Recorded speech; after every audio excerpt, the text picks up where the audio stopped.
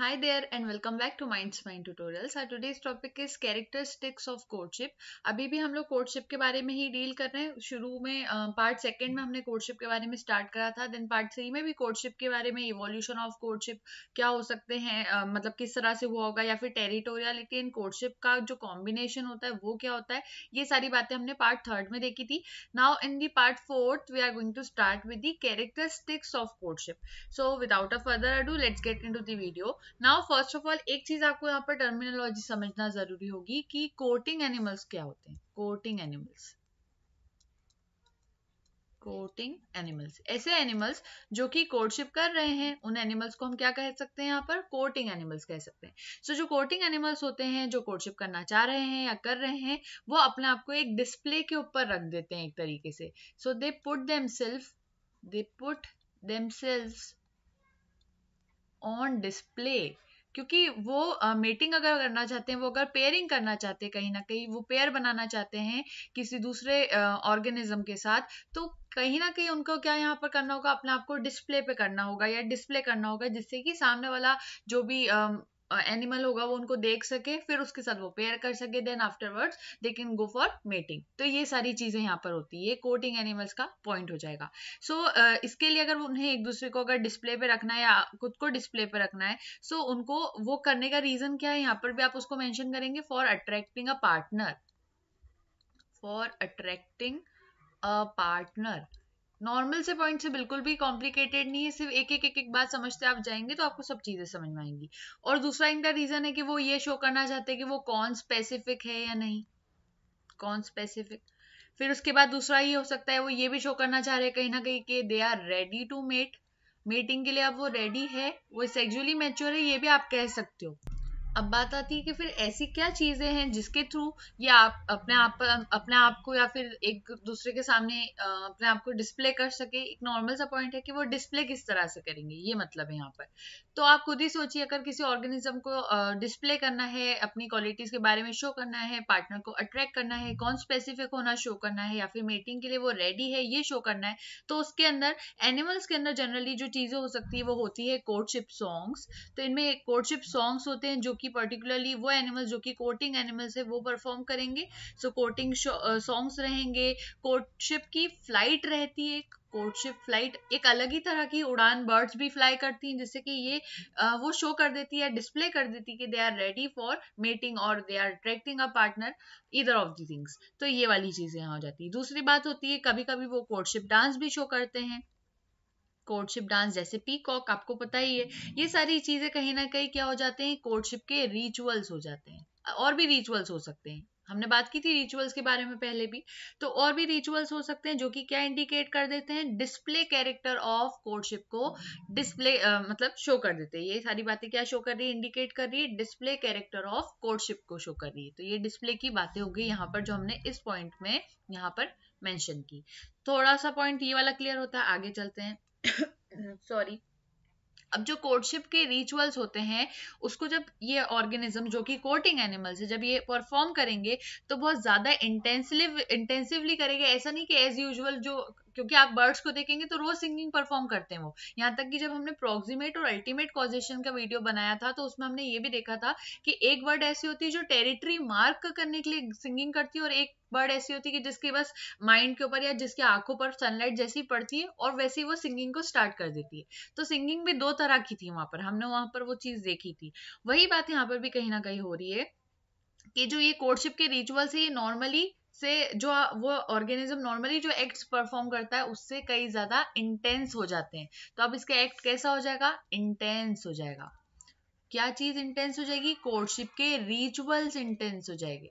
Normally वो activities कैसी होती है? बहुत नॉर्मल होती है। जो रोज वो सिंगिंग कर रहा है बर्ड वो बहुत नॉर्मल करेगा। लेकिन जब वो कोर्टशिप के दौरान सिंगिंग को परफॉर्म करेगा, बहुत इंटेंसिवली करेगा केयरफुली करेगा कि वहाँ पर कोई गड़बड़ ना हो और सीक्वेंसेस जो हो गए वो रिपीट करेगा ओवर एंड ओवर अगेन तो सीक्वेंसेस को रिपीट करता है बर्ड यहाँ पर ओवर एंड ओवर अगेन और सिर्फ़ सिंगिंग की बात नहीं हो रही, यहाँ डांसिंग की भी बात हो रही है और यहाँ पर फ़्लाइट की भी बात हो रही है तो जो भी सीक्वेंस होगा वहाँ पर उसको रिपीट किया जाता है ओवर एंड ओवर अगेन दूसरी बात, इस तरह का जो इफ़ेक्ट रहेगा इन मूवमेंट्स का, वो क्या करेगा? वो बहुत ज़्यादा अट्रैक्टिव दिखाई देगा, जिससे कि उसकी ब्यूटीफुल बॉडी अपेंडेजेस दिखाई देंगे, उसके कलरफुल पैटर्न दिखाई देंगे, या फिर मेलोडियस सॉन्ग ज़्यादा अच्छे से सुनाई देंगे और कुछ ईगर कॉल्स भी रहेंगे। तो इसमें एक चीज़ ये भी क्लियर हो जाएगी जब वो इस तरह से रिपीटेशन शो करेगा बार बार तो एक तो वो शो कर देगा कि वो ईगर है थोड़ा।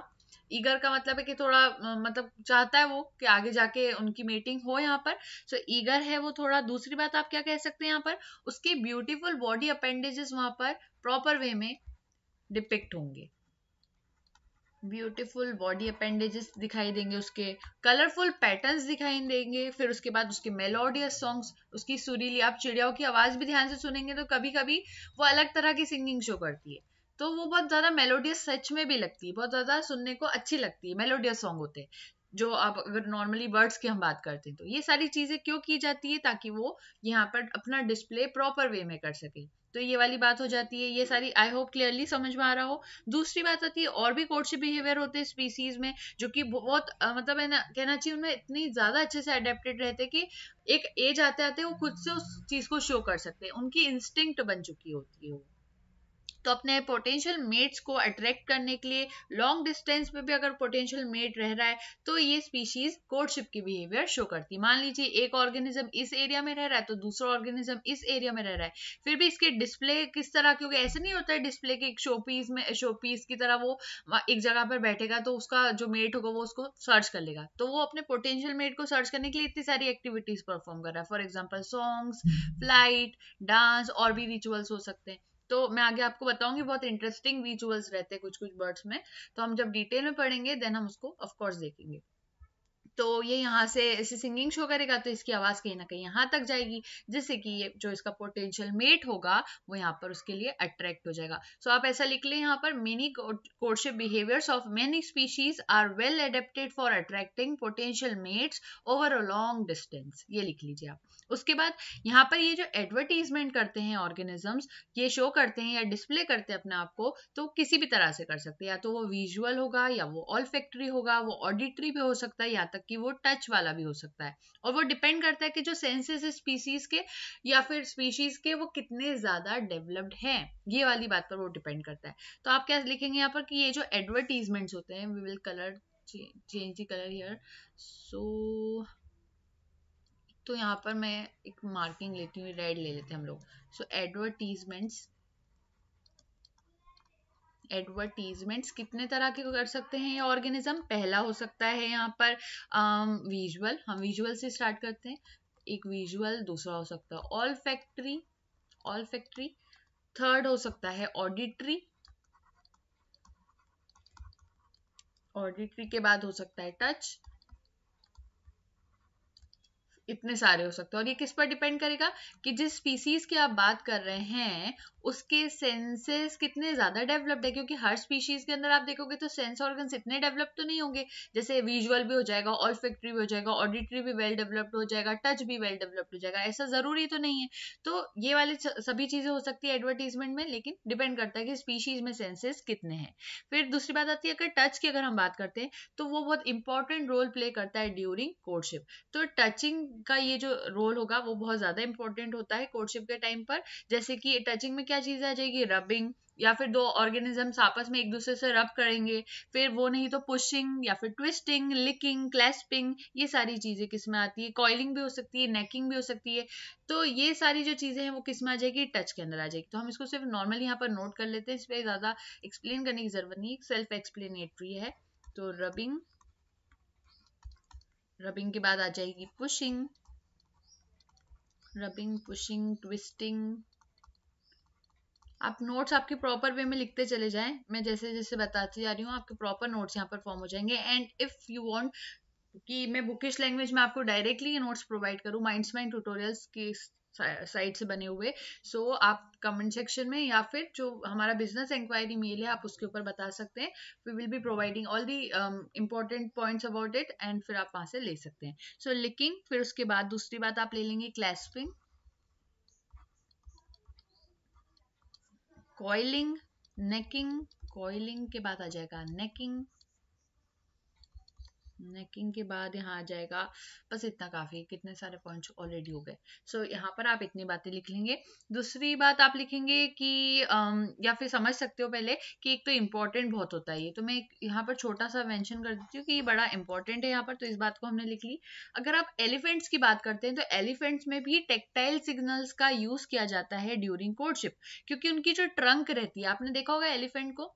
मान लीजिए कुछ एलिफेंट बनाने की कोशिश कर रहे हैं हम यहाँ पर। कुछ इस तरह से एलिफेंट होता है। आई नो बहुत ज़्यादा अजीब सा हो गया है, पर फिर भी समझने लायक है कि वो एलिफेंट ही होगा।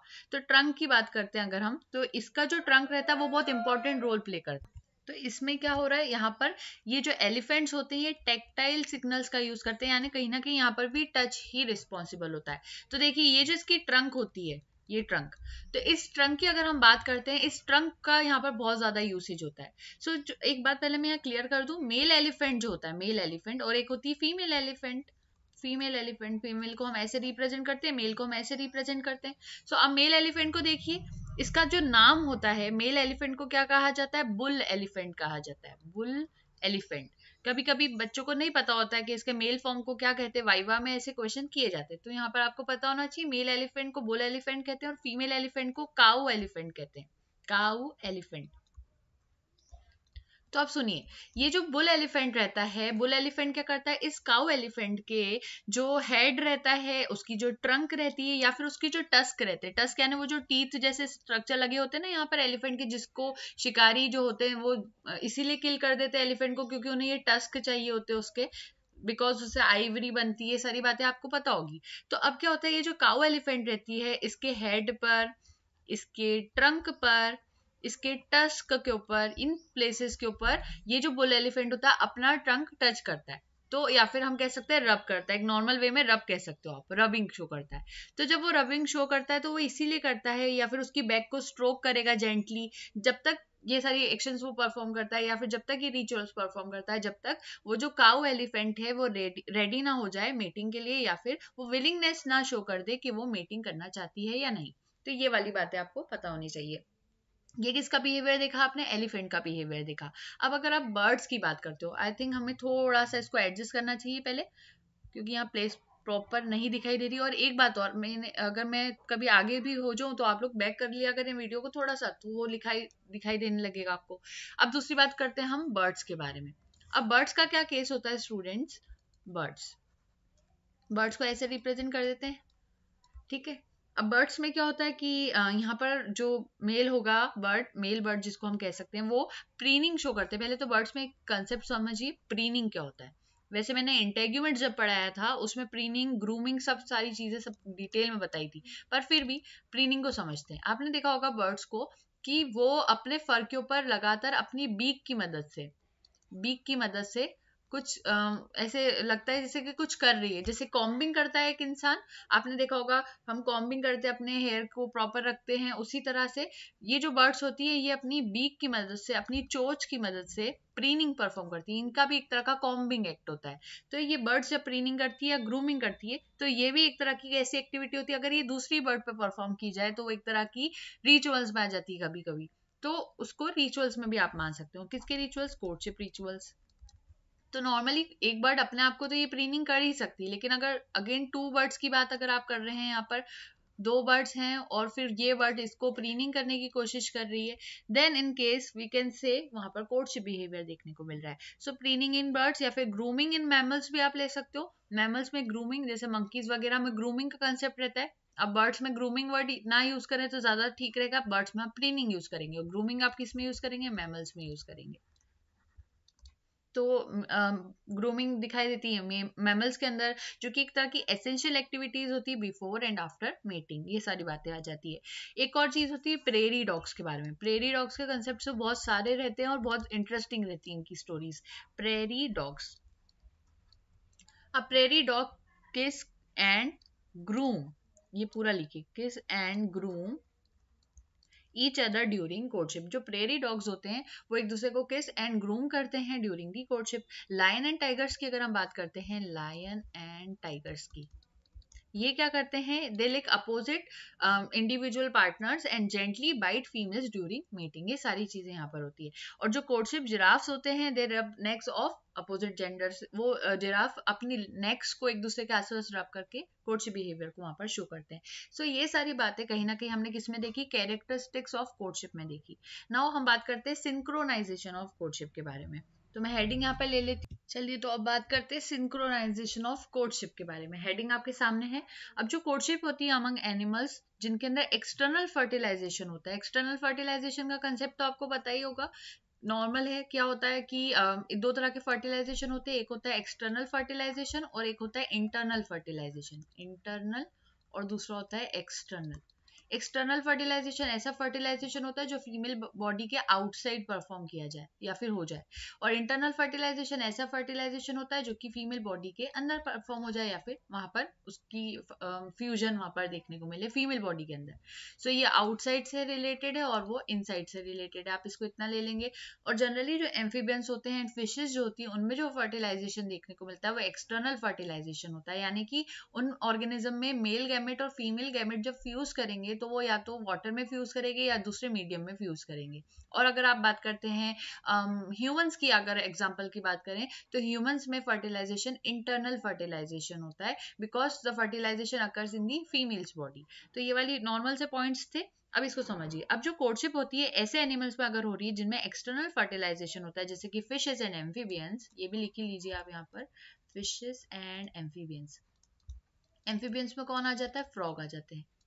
और भी आते हैं। तो फिशेस और एम्फीबियंस जो होते हैं, इनके अंदर आप देखोगे तो इनमें प्रोलॉन्ग्ड इंटरेक्शन देखने को मिलती है बिटवीन मेल एंड फीमेल यानी एक लंबे समय तक इनमें एक इंटरेक्शन दिखाई देती है, क्योंकि इन एनिमल्स में कैसा फर्टिलाइजेशन हो रहा है? एक्सटर्नल फर्टिलाइजेशन हो रहा है. तो अगर मान लीजिए कि नॉर्मली मेटिंग करके ये ऑर्गेनिज्म अलग अलग चले जाते हैं तो वो सही नहीं रहेगा, क्योंकि अब फर्टिलाइजेशन आउटसाइड दी बॉडी हुआ है, यानी कि जितने भी ऑफ़ स्प्रिंग्स हो गए वो बाहर ही पानी में ही कहीं ना कहीं डेवलप करेंगे तो उनके डेथ रिस्क यहाँ पर बढ़ जाएँगे. क्योंकि वो फीमेल की बॉडी में प्रोटेक्टेड नहीं है, वो आउटसाइड इन्वायरमेंट में तो अब क्या ज़रूरत होगी कि दोनों पेरेंट्स जो होंगे उन ऑफस्प्रिंग्स के, वो उनको प्रोटेक्ट साथ में मिलकर करें, वरना वो जो ऑफस्प्रिंग्स है उनकी डेथ हो जाएगी। तो आप देखिए यहाँ पर रूल्स गॉड ने कितने प्रॉपर वे में बनाए कि यहाँ पर इनकी प्रोलोंग्ड प्रोलोंग्ड इंटरेक्शंस देखने को मिलती है। इंटरेक्शंस कौन से केस में देखने को मिलती है? जिन केस में एक्सटर्नल फर्टिलाइजेशन होता है, उन केस में जो मेल और फीमेल्स होते हैं, उनके बीच में प्रोलॉन्ग्ड इंटरेक्शन देखने को मिलती है, क्योंकि उन्हें अपने ऑफस्प्रिंग्स को प्रोटेक्ट करना होता है कहीं ना कहीं ऐसे इन्वायरमेंट से जिससे उनके ऑफस्प्रिंग्स की डेथ ना हो जाए। अब अगर हम बात करते हैं यहाँ पर आगे बढ़कर तो जो इलोबरेट कोर्टशिप डिस्प्ले होता है, उसके अंदर भी बहुत सारे एडेप्टेशन आते हैं, जो कि ये इंश्योर कर देते हैं कि जो ओवर स्पर्म रिलीज़ हुए हैं आउटसाइड इन्वायरमेंट में, ज़्यादातर वो जो आउटसाइड इन्वायरमेंट होता है, वो वाटर मीडियम होता है वैसे तो बहुत सारे केसेस में मैं यहाँ पर नोट करती हूँ कि जो स्पर्म्स होंगे और जो ओवम्स होंगे, और किस केस की बात कर रहे हैं हम? एक्सटर्नल फर्टिलाइजेशन की बात कर रहे हैं एक्सटर्नल फर्टिलाइजेशन की फिशेज एंड एम्फीबियंस की। एक बात तो आपने पढ़ी, इनमें प्रोलॉन्ग्ड इंटरेक्शन होते हैं, दूसरा इनके जो मेल और मेल गैमेट्स और फीमेल गैमेट्स होते हैं that is the sperms and ovum जो होते हैं इन ऑर्गेनिजम्स के, वो एक पर्टिकुलर टाइम पे या फिर राइट टाइम आने पर ही इनकी बॉडी से इजेक्ट आउट होंगे, हम कह सकते हैं। क्योंकि ऐसा नहीं होगा, क्योंकि आप देखिए अब यहाँ पर उन्हें आउटसाइड इन्वायरमेंट में फ्यूजन के लिए रिलीज़ किया जाएगा तो आप खुद ही सोचिए, देखिए, मैं यहाँ पर ड्रॉ करने की कोशिश करती हूँ फॉर एग्ज़ाम्पल ये वाटर है। अब ये वाटर है तो यहाँ पर इनका रिस्क भी तो बढ़ रहा है इन गैमेट्स का कि यहाँ पर वो डिस्ट्रॉय हो जाए या फिर कोई दूसरा ऑर्गेनिज्म आकर इसको डिस्ट्रॉय कर दे, ये चीज़ें भी हो सकती है। तो इन ऑर्गेनिज्म में क्या होता है फिशेज और एम्फीबियंस में कि ये जो रिलीज़ होता है गैमेट्स का, वो प्रॉपर राइट टाइम पर होता है प्रिसाइज टाइम पर होता है, जिससे कि ये इंश्योर हो जाए कि फर्टिलाइजेशन आगे प्रॉपर वे में हो जाए। वहाँ पर फर्टिलाइजेशन की एब्सेंस देखने को ना मिले प्रेजेंस देखने को मिले फर्टिलाइजेशन वहाँ पर हो। तो ये चीज़ें क्यों हो रही है यहाँ पर? ताकि जो ये जो स्पर्म्स हैं और ये जो ओवम है, इनकी वहाँ पर डेथ ना हो जाए या फिर ये वहाँ पर वेस्ट ना हो जाए। तो ये वाली चीज़ें होती है। इस चीज़ को सही करने के लिए, अब ऐसा होता आप खुद ही एग्ज़ाम्पल समझिए कि अगर मेल फिशेज है, मान लीजिए मेल फिशेज है और ये फीमेल फिशेज है। तो मेल फिशेज का, मान लीजिए स्पर्म रिलीजिंग टाइम होता मान लीजिए जनवरी में। वैसे तो बारिश से रिलेटेड टाइम होना चाहिए था, पर फिर भी एग्ज़ाम्पल की बात करें जनवरी में मान लीजिए इनका रिलीजिंग टाइम होता है। और फेबररी में फीमेल अपने ओवम को रिलीज़ करती है वाटर के अंदर दोनों ही वाटर में रिलीज़ करते हैं अपने ओवम्स को एंड अपने स्पम्स को। तो अब इन केस में क्या होता है स्टूडेंट्स कि उनकी डेथ हो जाती है ये दोनों ही टाइम के जो गैमेट्स होते हैं, वो वहाँ पर डिस्ट्रॉय हो जाते। हैं तो इन सिचुएशंस को अवॉइड करने के लिए, इन दोनों के जो रिलीजिंग टाइम होंगे गैमेट्स के, वो क्या हो जाते हैं, यहाँ पर सिंक्रोनाइज हो जाते हैं। सिंक्रोनाइज का मतलब ही ये होता है कि दो चीज़ों को एक टाइम के ऊपर मेंटेन करवा देना, इसको सिंक्रोनाइज कहते हैं। जैसे कि ऐसा कहा जाता है कि हम लोग कभी मान लीजिए कि एक बेबी की बात करें तो अगर हम उसको रोज किसी टाइम पर खाना खाना खिला रहे हैं या फिर उसको कोशिश करें कि इस टाइम पे वो ये काम करे तो वो कहीं ना कहीं क्या हो जाता है, वो बच्चा वहाँ पर सिंक्रोनाइज होने लगता है कि इसी टाइम पर मुझे खाना मिलेगा, इसी टाइम पे मुझे उठाया जा रहा है तो उसका टाइमिंग वहाँ पर बनने लगता है। और कभी कभी घर में अगर दो बेबीज है तो एक अगर एक टाइम पर उठ रहा है तो ये भी देखा जाएगा कि दूसरा भी उसी टाइम पर उठने लगता है, उसकी भी रूटीन कहीं ना कहीं वैसी बनने लगती है। तो वो एक दूसरे से क्या होने लगते हैं? सिंक्रोनाइज होने लगते हैं। नॉर्मल सा पॉइंट है। आप इंग्लिश लैंग्वेज में भी देखेंगे तो इसका मीनिंग निकलेगा। बहुत ज़्यादा बायोलॉजिकल टर्मिनोलॉजी नहीं है, बहुत नॉर्मल सी है। तो अब क्या हो रहा है कि अगर एक ऑर्गेनिज्म जनवरी में अगर गैमेट्स को रिलीज़ कर रहा है और दूसरा फेब्रवरी में अपने गैमेट्स को रिलीज़ कर रहा है तो यहाँ पर चांसेस बहुत कम हो जाएगी कि फर्टिलाइजेशन वहाँ पर हो पाए। और यहाँ पर क्या करना है कि फर्टिलाइजेशन को तो उल्टा एंश्योर करवाना है।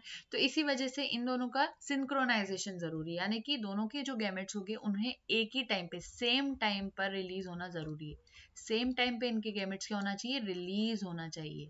तब जाके कहीं ना कहीं फर्टिलाइजेशन हो पाएगा। ये नॉर्मल सी बातें हैं, जो हम इसको समझते जा रहे हैं, क्योंकि सिंक्रोनाइजेशन टर्मिनोलॉजी का हमें यहाँ पर मीनिंग समझना है। तो आप इसकी सिंक्रोनाइजेशन की डेफिनेशन पहले यहाँ लिखेंगे, मैं थोड़ा सा एडजस्ट करती हूँ देन हम यहाँ पर इसकी डेफिनेशन नोट करते हैं। तो आई होप ये कंसेप्ट तो यहाँ पर हो गया होगा क्लियर अभी नीचे ले लेते हैं इसको थोड़ा सा। ठीक है, इतना काफ़ी है। अब हम यहाँ पर लिख लेते हैं, इस तरफ़ से लिखेंगे इसकी डेफिनेशन को। आप लिखिए the occurrence of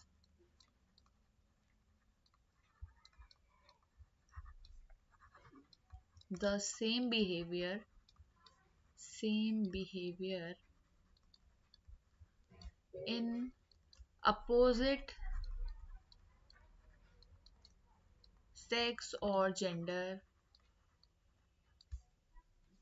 of the same species of the same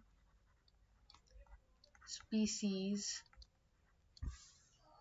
at the same time at the same time.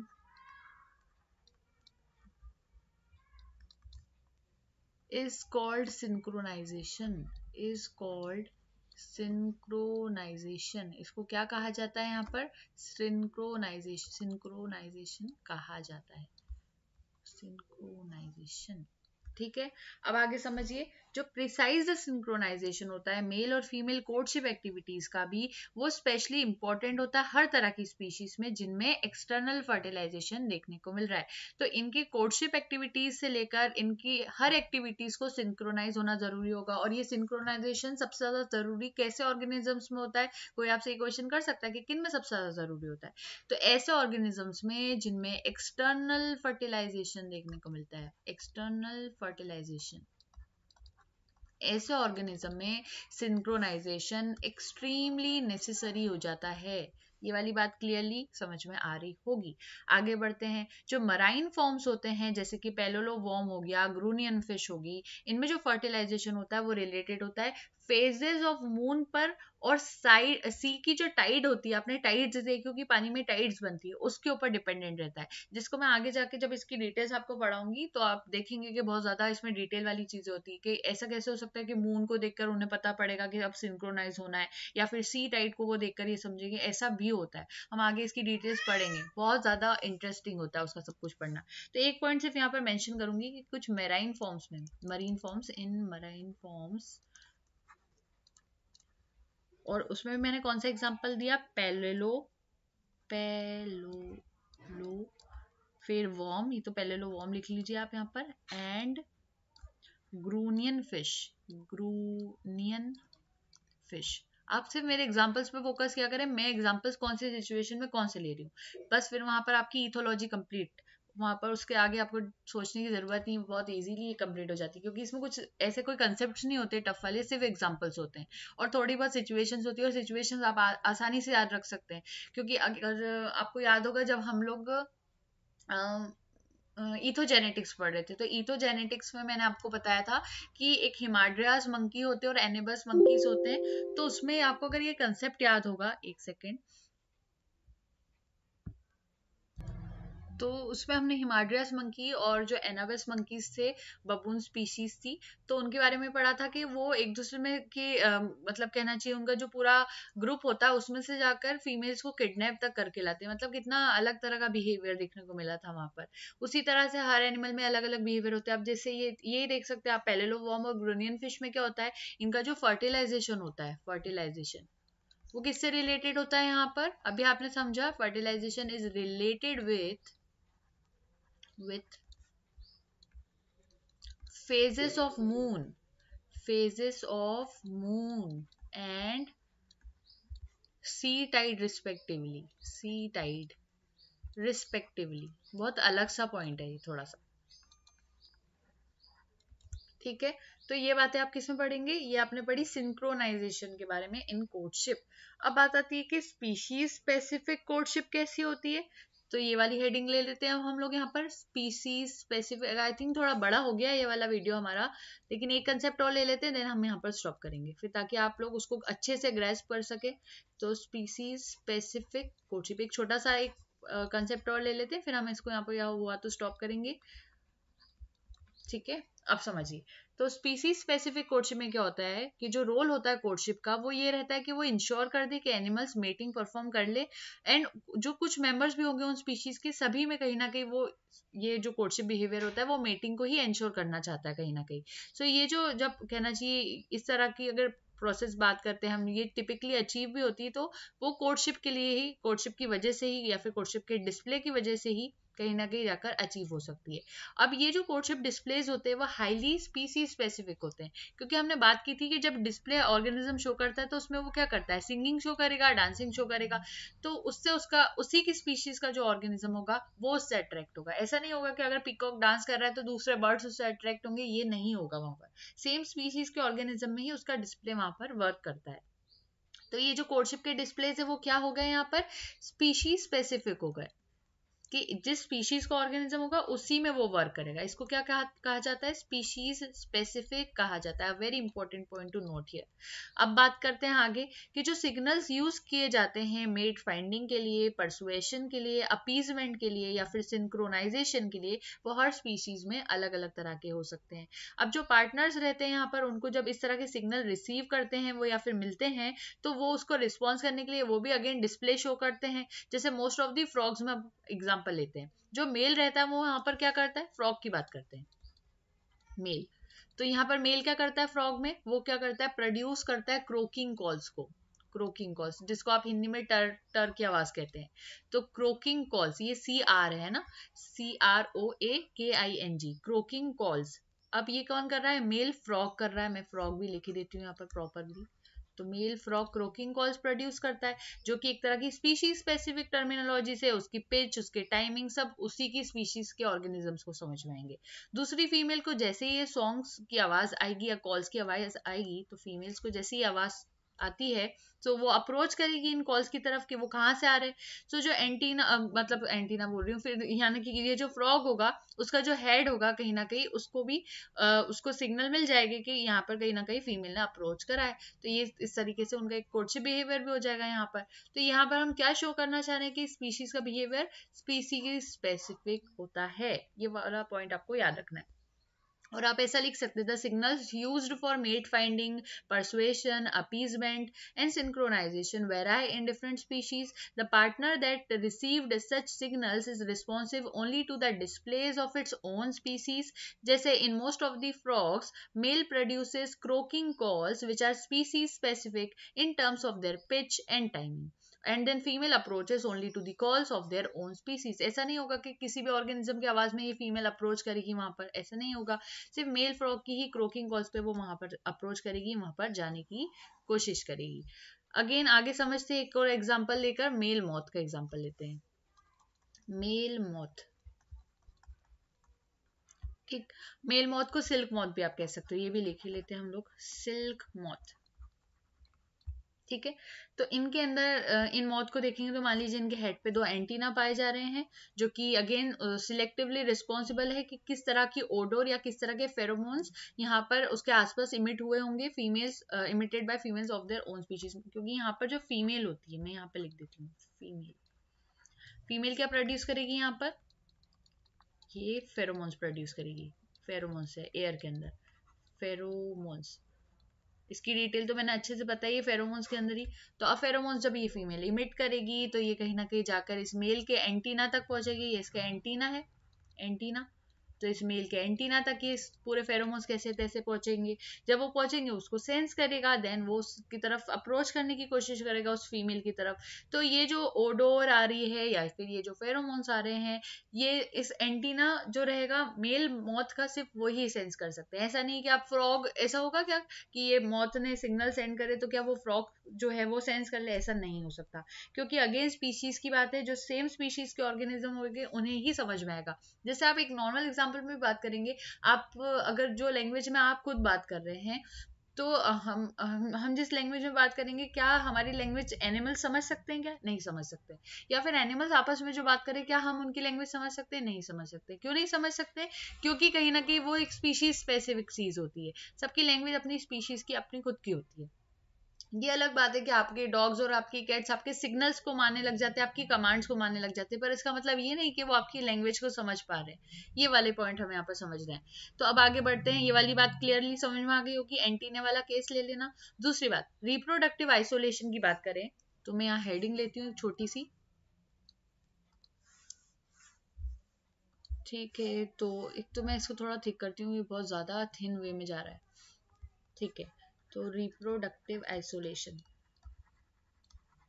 and MSc zoology students को रिप्रोडक्टिव um, आइसोलेशन जो टॉपिक रहता है वो तो एमएससी के फ़र्स्ट सेमेस्टर में आ जाता है या बीएससी स्टूडेंट्स को भी रहता है ये टॉपिक अगेन अगर नहीं पता है आइसोलेशन के बारे में कितनी तरह के होते हैं रिप्रोडक्टिव आइसोलेशन क्या होता है आप लोग कुछ नहीं करेंगे कमेंट सेक्शन में लिख देंगे कि हमें इस पर डाउट है we will make a video on it and वहाँ पर उसको अलग से समझ लेंगे. ठीक? अब रिप्रोडक्टिव आइसोलेशन जो होता है by breeding habit in tree frog वो और ज़्यादा इंटरेस्टिंग है नोट करने के हिसाब से। तो reproductive isolation by breeding habit of tree frog ठीक है?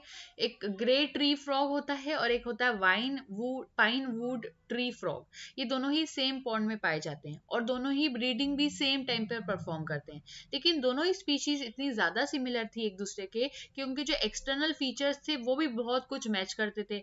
लेकिन जो मेल का ब्रीडिंग कॉल था वो एक्सट्रीमली डिफरेंट था जो कि वेल रिकोगनाइज हो जाता था उनके ग्रुप ऑफ़ फीमेल से। इसीलिए वहाँ पर क्रॉस मेटिंग जो थी वो रेयरली अकर करती थी। आप देखिए यहाँ पर मैं क्या समझाने की कोशिश कोशिश कर रही हूँ। दो फ्रॉक्स के नेम में ले रही हूँ यहाँ पर। दो फ्रॉक्स मैं पहले नोट कर लेती हूँ। अब समझिए, मैंने यहाँ पर नोट करा है फ्रॉक्स के बारे में। ठीक है? फ्रॉग्स में एक होता है ग्रे ट्री फ्रॉग दूसरा होता है पाइन वुड ट्री फ्रॉग दो तरह के फ्रॉग्स थे, जो कि सेम पॉइंट में ये दो दो अलग अलग कलर्स हमने यहाँ पे शो करे। एक ही पॉइंट में दोनों फ्रॉग्स रहते थे। दोनों की मेल स्पीशीज थी, दोनों की फीमेल स्पीशीज थी। अब ये फ्रॉग कैसे थे? मॉर्फोलॉजिकली अगर देखें, यानी इनके एक्सटर्नल फीचर्स को अगर आप देखेंगे तो बहुत कुछ सिमिलर थे। इनमें ज़्यादा डिफरेंसेस देखने को मिलते ही नहीं थे। आप तो मतलब अपन, हम यहाँ पर रिकोगनाइज ही नहीं कर सकते कि कौन सा ग्रे ट्री फ्रॉग है और कौन सा पाइन वुड ट्री फ्रॉग है।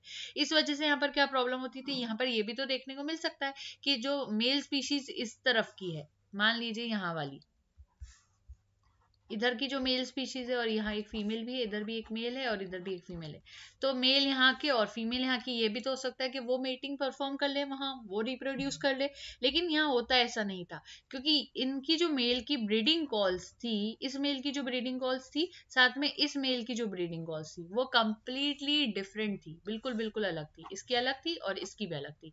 तो इनकी फीमेल्स को पता होता था कि इनकी स्पीशीज का सॉन्ग कहाँ से सुनाई दे रहा है और इसको भी पता होता था, इसकी स्पीशीज का सॉन्ग कहाँ से सुनाई दे रहा है, या फिर उसकी आवाज़ किस तरह की आ रही है। तो इस बेसिस पर, उस कॉलिंग के बेसिस पर वो डिफ्रेंशिएट कर लेते थे और यहाँ पर क्या होता था, यहाँ पर जो क्रॉस मीटिंग थी वो रेयरली अकर करती थी। तो यहाँ पर cross meeting rarely occurs cross meeting rarely occurs ये देखने को यहाँ पर मिलता था। ये वाला नॉर्मल सा पॉइंट हो गया, थोड़ा सा गलत हो गया है। ठीक है अकर्स डन अब ये वाली बात आपको समझ में आ गई होगी। मैंने यहाँ रिप्रोडक्टिव आइसोलेशन का एक पॉइंट आपको यहाँ पर ऐड करवाया। क्या लिखेंगे आप? Reproductive isolation by breeding habit in tree frog is interesting to note जैसे कि grey tree frog and pine wood tree frog are found in the same pond They breed at the same time, but species are very similar in their external features, but their male breeding calls are extremely different, which are well recognized by their females, and hence cross mating rarely occurs in this case.